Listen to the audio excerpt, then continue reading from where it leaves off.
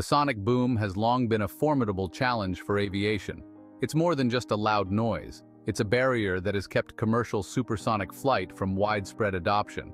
The sound barrier, first broken by Chuck Yeager in 1947, remains a significant hurdle for engineers and scientists. Yet, a group of researchers in northwest China dared to defy conventional wisdom with an innovative solution, drilling holes in a plane's wing. This counterintuitive approach opened new possibilities, challenging over a century of aerodynamic principles that began with the Wright brothers. China is innovating rapidly in technology and science. We bring you one crucial news video daily, straight from reliable sources. No speculation, just facts. Help us beat the YouTube algorithm by subscribing and liking our videos. Join our channel membership to support truth and innovation in China. Thank you for your time. We guarantee you will learn something new every day. The idea was simple, yet profound. By facilitating airflow between the upper and lower surfaces of the wing, these holes could mitigate the shockwave vibrations that create sonic booms. The concept was bold, and its implications were far-reaching. If successful, this technology could revolutionize the way we think about supersonic flight, making it quieter, more efficient, and more accessible. This breakthrough could bring us closer to a future where flying faster than the speed of sound is not just a military endeavor, but a commercial reality. Redefining aerodynamics. For over a century, the principles of flight have remained largely unchanged. Bernoulli's principle, which explains how the difference in air pressure above and below a wing creates lift, has been the cornerstone of aircraft design. However, as planes approach supersonic speeds, this principle encounters significant challenges. Shock waves form at the trailing edge of the wing, introducing turbulence, drag, and destructive vibrations. This phenomenon has limited the development of supersonic commercial jets and kept the dream of widespread supersonic travel at bay. The Chinese research team's experiment is a radical departure from traditional aerodynamics. By introducing a mechanism that only activates at supersonic speeds, they effectively stopped shock waves from forming behind the wing. This innovation reduced drag and nearly eliminated the vibrations that have plagued supersonic flight for decades. In essence, they found a way to harness the very forces that once hindered flight to make it more efficient. This discovery could be the key to unlocking the next era of aviation, where the limitations of speed and noise are overcome by clever engineering. The X-59, a glimpse into the future. While the Chinese team was making strides in reducing sonic booms through innovative wing design, NASA was unveiling its own vision for the future of supersonic travel the X-59, a sleek and futuristic aircraft, is designed to fly faster than the speed of sound with a fraction of the noise typically associated with such speeds. Unlike its predecessors, the X-59 aims to eliminate the disruptive sonic boom, replacing it with a sound no louder than a car door closing. This aircraft represents a significant leap forward in aeronautics, not just for its speed but for its potential impact on commercial aviation. The X-59 is the centerpiece of NASA's Quiet Supersonic Technology, QueSST, mission, a project that could pave the way for supersonic flights over land, a prospect that has been off-limits due to noise regulations. If successful, the X-59 could revolutionize air travel, making it possible to cross continents in just a few hours without disturbing those on the ground. The evolution of supersonic technology. Supersonic flight has always been synonymous with military aircraft, with few exceptions like the Concorde.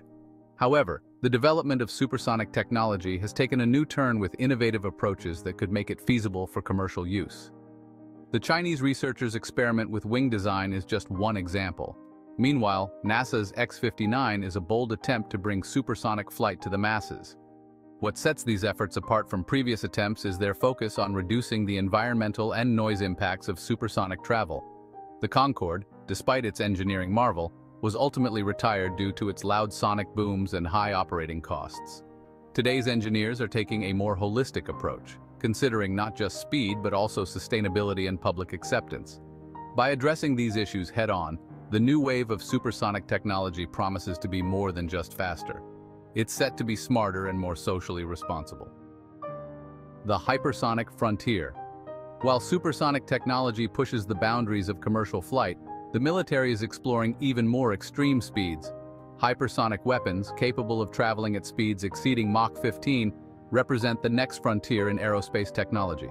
Chinese scientists are at the forefront of this research, developing a new type of hypersonic glide vehicle, HGV, that uses a skipping stone trajectory to extend its range and improve its maneuverability.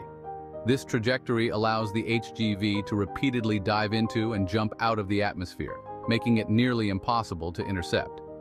The technology is a significant leap forward, not just in terms of speed, but also in terms of strategic capability.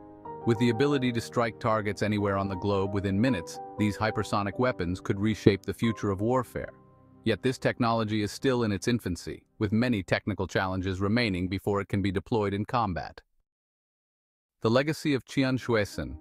The advancements in hypersonic technology are not just the result of modern innovation, they are built on the legacy of pioneers like Qian Xuesen, often regarded as the father of Chinese rocketry. In the late 1940s, Qian proposed the concept of hypersonic gliders, vehicles that could travel vast distances at incredible speeds by gliding through the upper atmosphere. His ideas laid the foundation for today's hypersonic research and continue to inspire scientists as they push the boundaries of what is possible. Qian's vision of hypersonic flight is now becoming a reality, with Chinese scientists developing new gliders that can travel at speeds up to Mach 20. These vehicles can not only strike distant targets with unprecedented speed, but also evade detection and interception, making them a formidable tool in modern warfare.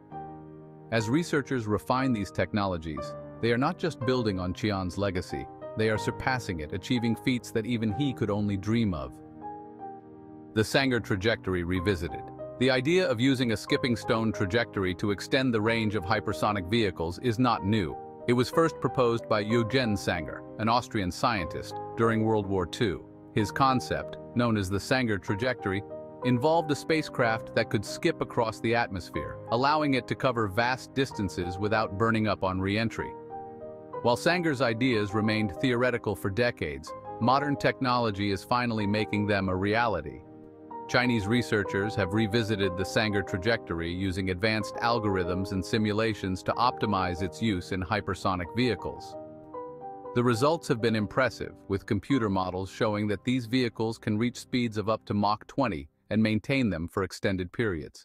This capability opens up new possibilities for global strike missions, allowing a single vehicle to hit multiple targets across the globe.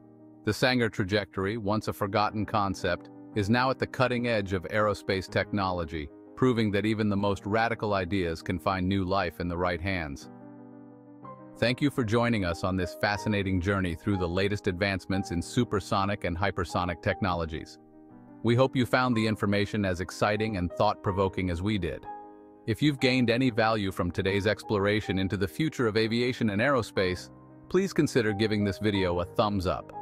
Your support helps us continue to bring you the latest in science and technology. Don't forget to subscribe to the channel so you won't miss our next deep dive into the cutting-edge innovations shaping our world. We look forward to seeing you in the next video.